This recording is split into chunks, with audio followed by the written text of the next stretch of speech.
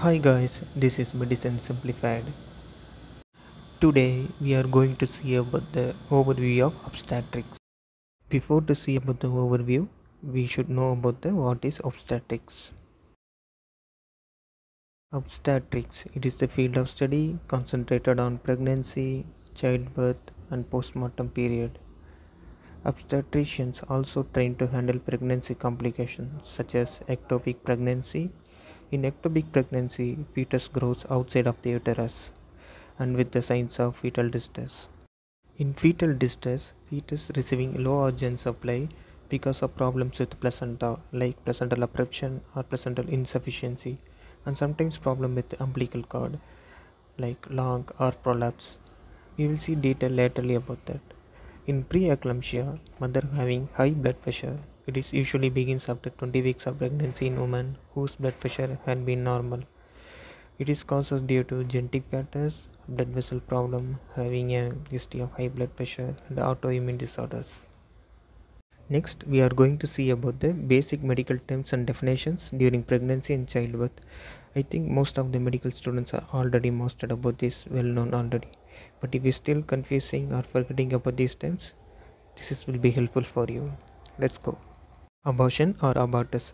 A fetus or embryo is removed or expelled from the uterus during the first half of gestation, that is 20 weeks or less, and fetus born weight less than 500 gram is also known as spontaneous miscarriage.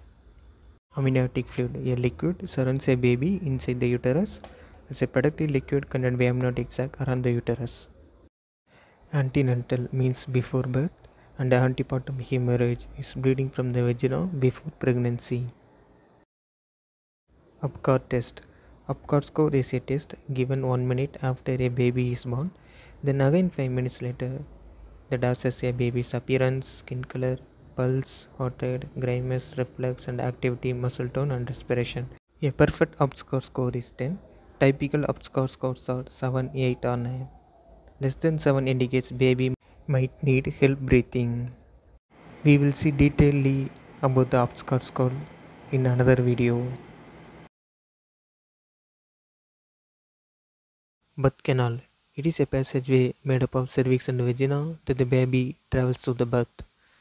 Normally, birth canal is a muscular canal. It goes from the uterus to the outside of the body.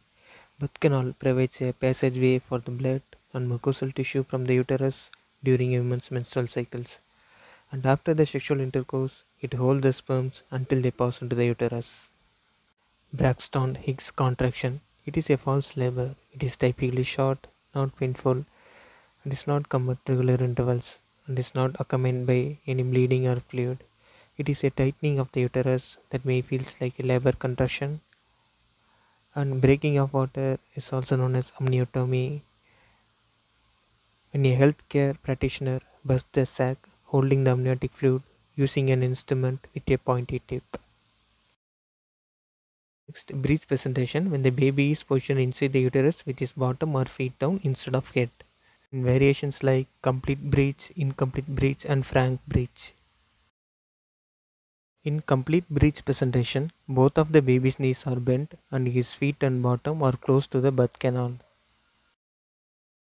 In incomplete breech, one of the baby's knees bent, foot and bottom are close to the birth canal. Next, frank breech. This is the most common in breech presentation when the baby's leg folded flat up against his head and his bottom closest to the birth canal.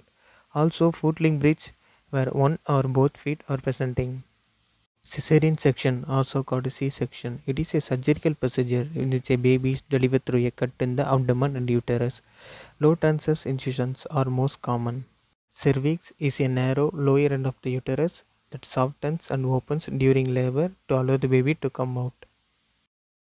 Conception, the process of becoming pregnant when a sperm and egg join to form a single cell. Contraction, the often strong and painful tightening of uterus during labor. Contractions happening in labor that causes dilate that helps and push the baby through the birth canal. Crowning is a time during labor when the baby's head has reached the external vaginal opening can be seen from outside.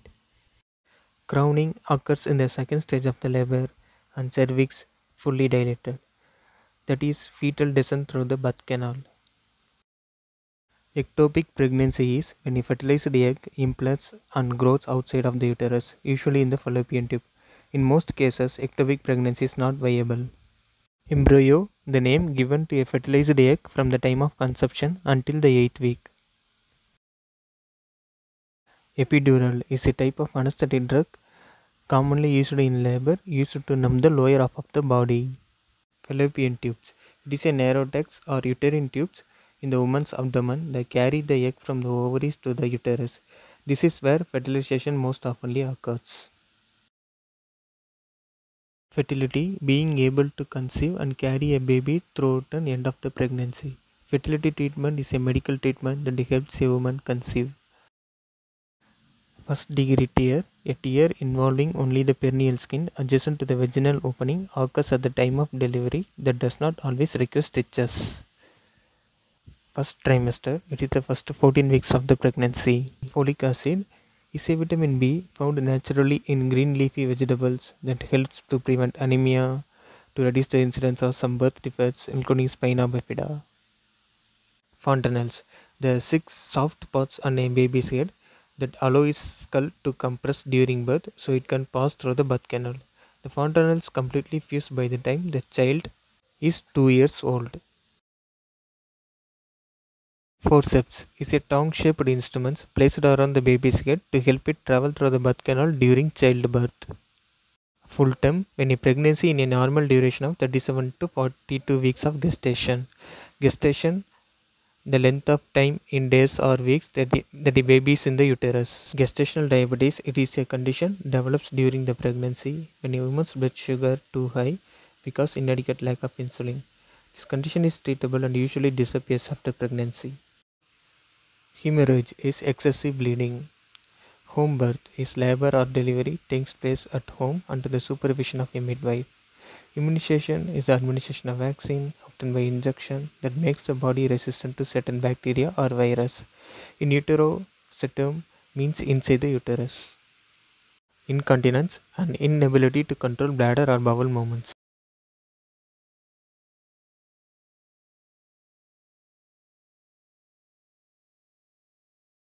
In vitro fertilization, it is a process used to conceive a child outside the body where a woman's egg are fertilized with a man's sperm then placed into the woman's uterus.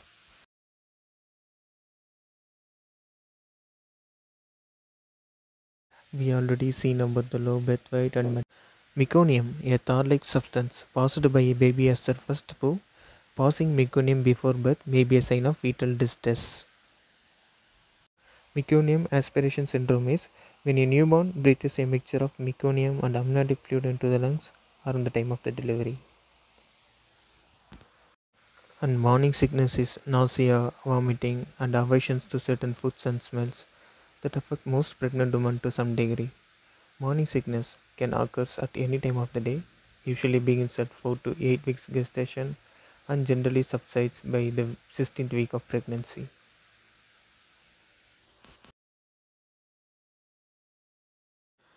Multiple pregnancy when a woman is carrying more than one baby.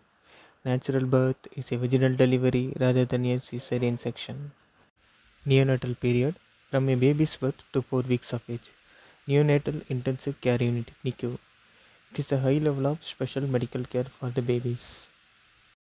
Ovaries is female reproductive organs that release eggs into the fallopian tubes where they may be fertilized if sperm are present. Ovum, a human egg. Pelvic floor exercises. Exercise a woman can do strengthen the muscles in around her vagina. Perineal hematoma was a collection of blood resembling a bruise in the area between the vagina and the anus. Perineum, the area between the vagina and the anus. The placenta is the organ that connects the wall of the uterus that nourishes the baby through the umbilical cord. Placenta develops in uterus during pregnancy it provides oxygen and nutrients to the growing baby from the mother's bloodstream. Postnatal after birth. Postnatal depression is a condition affects some mothers in days, weeks, or months after giving birth. Postpartum hemorrhage when a woman loses more than 500 milliliter of blood after birth. Premature baby is born before 37 weeks of gestation. Prenatal means before birth. Second degree tear. A tear of the perineum involving both skin and muscles but not the anus. Second degree tears often require stitches. Second stage labor from the complete dilatation of cervix 10 cm to the birth of the baby. Second trimester time from 14 weeks to 26 weeks of pregnancy. Spina bifida, a birth defect that occurs during the first month of pregnancy when a baby's backbone does not fully close.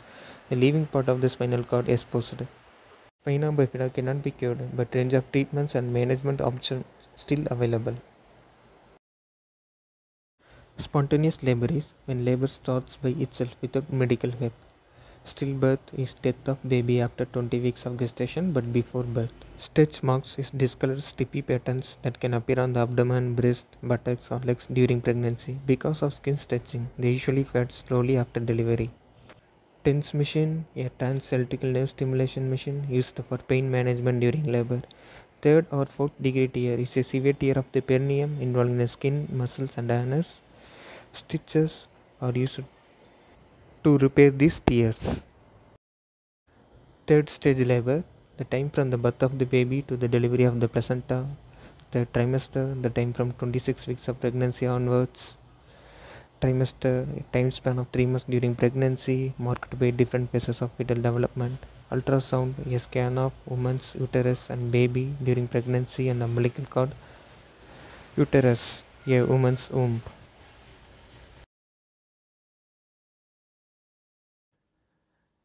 Thank you for watching my video from starting to end. Hope you learned something today.